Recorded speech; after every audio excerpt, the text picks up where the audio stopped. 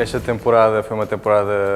em termos de número de espetáculos sarmáquicos, bastante reduzida. Fizemos apenas três corridas. Uh, temos neste momento cerca de 20 elementos ativos.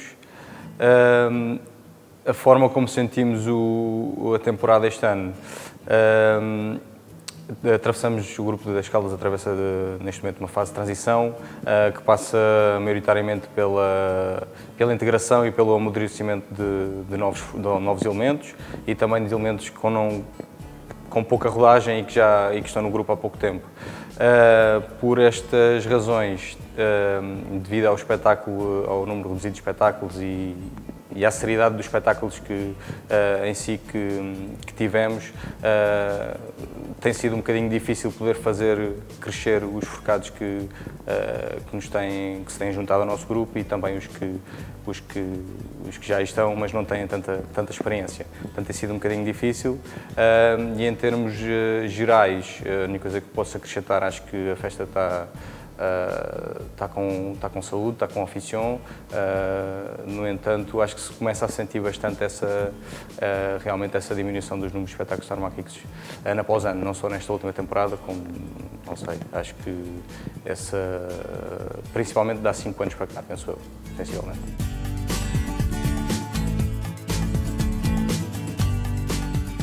Como disse, não tivemos assim tantos espetáculos que normal que quanto isso, foram, foram até uma temporada bastante reduzida nesse aspecto uh, e por isso só posso, só posso destacar a corrida do nosso aniversário, que é o 15 de agosto. Uh, e se me permite também, queria deixar uma, uma,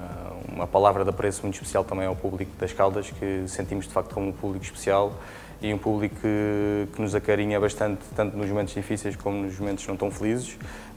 Um, e isso, esse apoio, essa força sente-se em, em, cada corrida e este ano uh, não foi exceção e queria lhes agradecer muito por isso.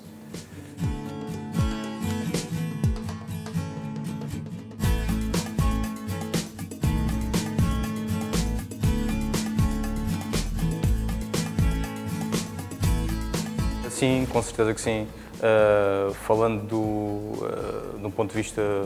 pessoal, ou sentindo mais na, na pele, se calhar, essa, esse, esse facto, essa realidade, uh,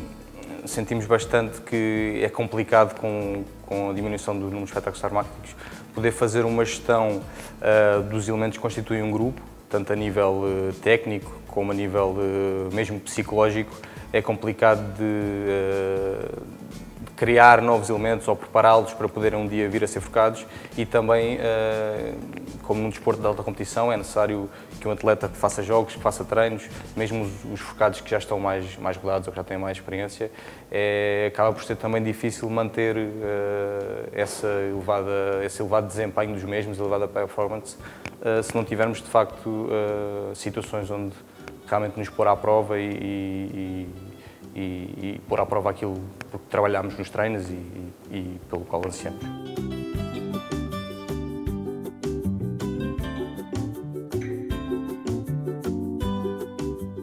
Eu penso que, à semelhança de, de outras atividades perigosas, a festa Torma aqui em Portugal deveria ter, e isto devia estar protegido por lei,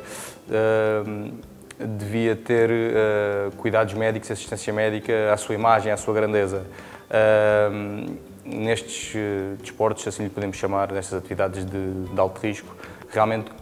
os pequenos pormenores, os pequenos momentos fazem a diferença e muitas vezes a diferença mesmo entre a vida e a morte. Portanto, acho que todos os cuidados são poucos, e como tal as praças deviam estar uh, excepcionalmente equipadas uh, e com pessoal equipadas não só a nível de equipamento, mas também em termos de recursos humanos de, de pessoas que realmente possam fazer a diferença, não só para que uma lesão não se, acabe por não se, não se acentuar ou não, ou não tomar uma uma, uma dimensão muito grande na vida da pessoa, mas também pode fazer de facto a diferença, como já vimos, entre a vida e a morte. Portanto, uh, acho que isso dessas esses pequenos pormenores uh, deviam estar realmente salvaguardados e não deveria haver, independentemente da, da praça que seja, menor escalão, pior escalão, uh, mais lugares, menos lugares, menos gente, menos gente, acho que todos os, os, os, locais onde se efetuem de facto espetáculos tarumacos é deviam estar salvaguardados com esse tipo de, de equipamentos e de, e de pessoas.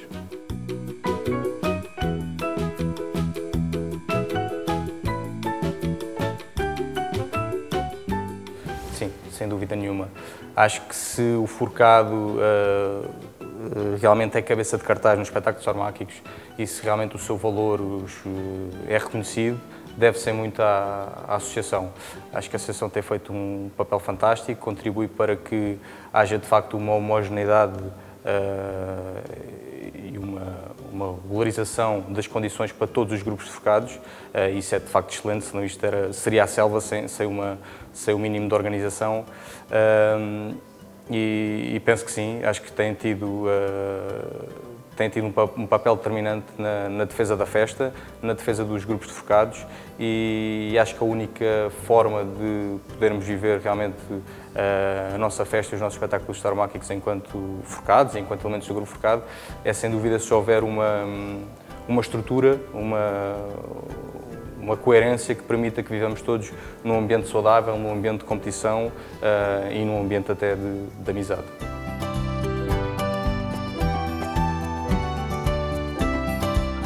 Não, na associação, eh, na associação propriamente dita, penso que não. Eh, agora, se calhar não. Existem alguns grupos que realmente eh, podem, se calhar, fazer um exercício de perceber se realmente se enquadram nos valores que a associação defende e se realmente faz sentido continuar, porque tem que haver uma Uh, quer dizer, se a, se a, associação existe para realmente uniformizar, envolver, uh, integrar todos os grupos focados, não faz sentido que determinados grupos uh, vivam com valores ou com que a associação não se identifica.